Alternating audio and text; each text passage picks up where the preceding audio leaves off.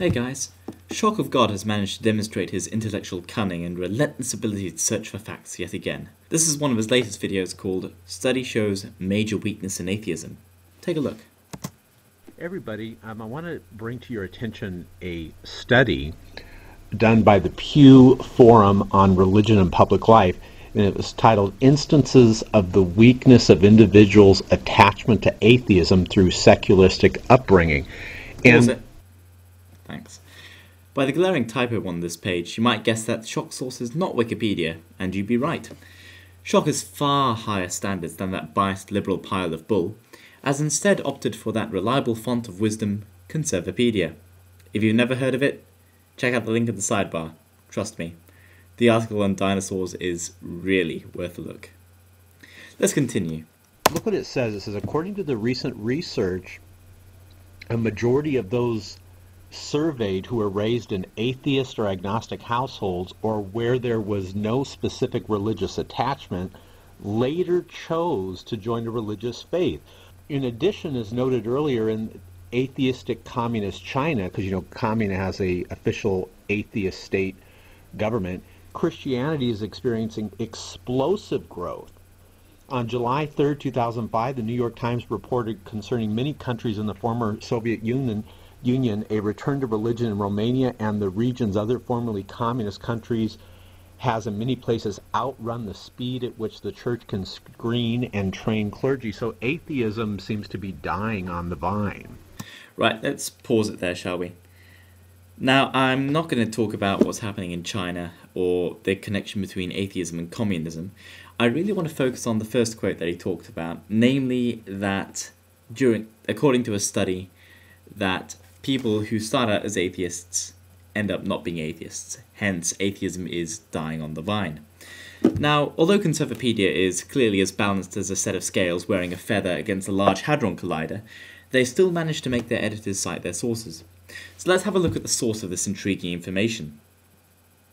Now, I'll be honest, I was expecting a survey run by a church group with all the scientific integrity of Ray Comfort and his pet crocoduck, but that's not actually what I found. Now, this is the research from the Pew Research Center, uh, the links in the sidebar, and it's pretty good.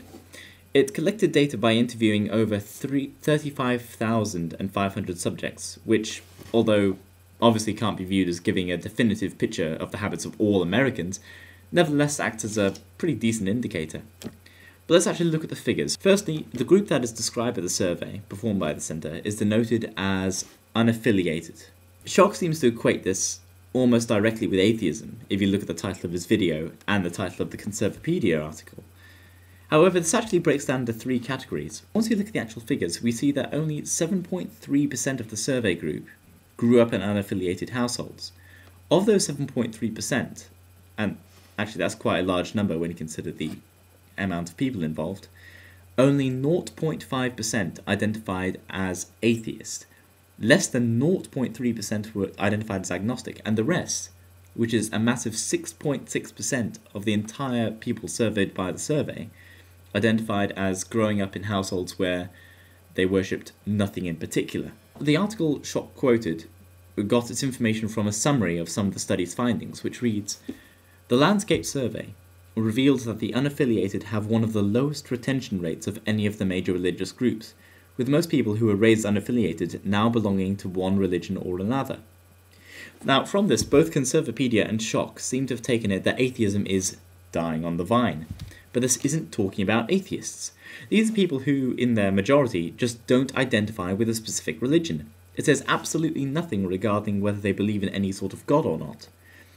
The data doesn't show people turning towards God, let alone Shock's personal congealed wad of Old Testament hatred, but shows undecided and, once again according to the survey summary, quite spiritual people exploring different religions. Furthermore, let's take a look at the paragraph that precedes the quote on which Shock and Conservapedia base so much. The category of people who are unaffiliated with any particular religion has grown more rapidly than any other religious group in recent decades. According to the 2007 Landscape Survey, 16% of American adults say they are currently unaffiliated with any particular religion, compared with only 7% who were raised unaffiliated. If we look at the net gain of the unaffiliated group, we see a net increase of 9% of the net American population losing their religion to indifference or even atheism. What's even more interesting is the reasons that these 9% give for giving up their religion. About half of those who become affili- unaffiliated say that they became unaffiliated, at least in part, because they think of religious people as hypocritical, judgmental, or insincere. Large numbers also say that they became unaffiliated because they think that religious organizations focus too much on rules and not enough on spirituality. Shock, here's the lowdown. Firstly, even if your reading of the statistics was correct and atheism was dying across the world, it wouldn't prove anything about the veracity of theism let alone the truth of your personal religion. Secondly, even if it did, by some collapse of the laws of logical inference, the evidence from the source you quoted simply doesn't support you. Thirdly, it appears that half the time it's people like those found in your narrow minded brand of Christianity that turn people away from the Lord, your God. Finally, next time you make a video, do some actual research rather than taking a single passage on the internet at face value. Thanks.